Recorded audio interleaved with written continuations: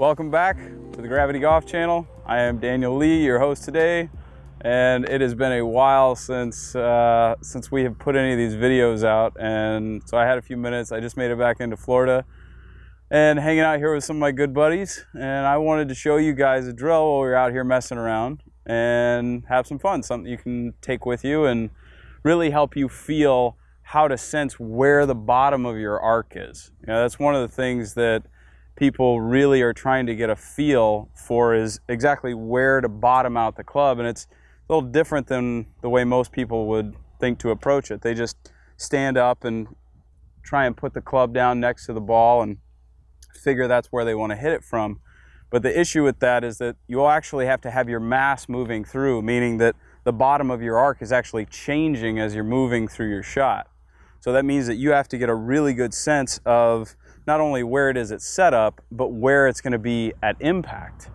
So what we're doing here is A, we're going to be feeling the geometry off of the front side of our body. So knowing that we want to feel that the front side of our body is making impact with the ball, and that's going to help us feel where the bottom of the arc is.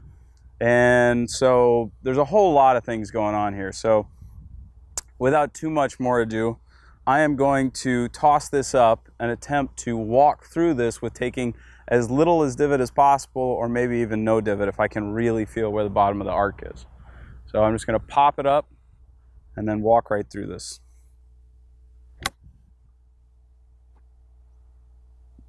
So that was pretty clean. I was able to nip that right off the turf.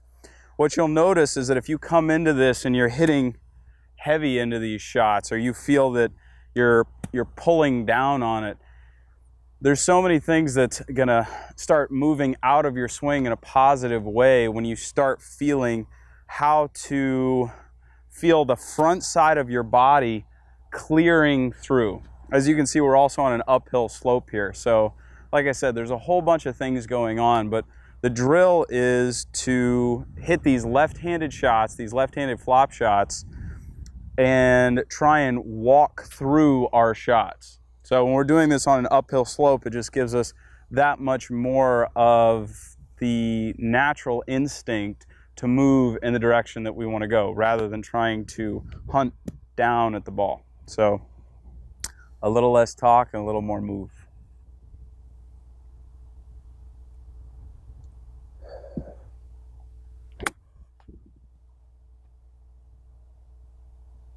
Oh, that was pretty sweet.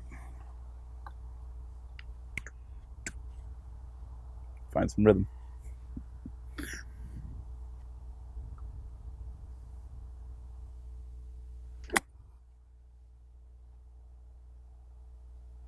One of the other things you'll notice here is how the club really goes up into a more vertical position.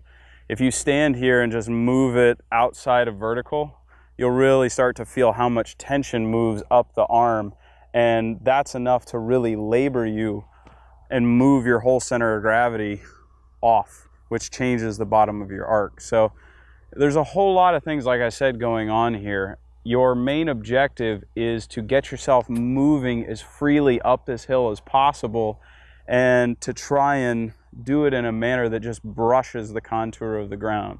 And if you can do that, you'll start discovering all kinds of things about your, your timing and your geometry, the, the way that you set it into motion from your heave from really low down in here, and feeling how you can get used to throwing it up in a vertical spot that'll drop easy, and just how to move through your shots, which is what it comes down to at the end of the day, that you can get all of your mass moving through every shot and that everything is cleared out of the way.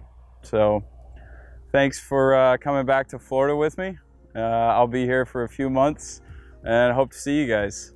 I will look forward to it. Thanks again for everything. See you very soon.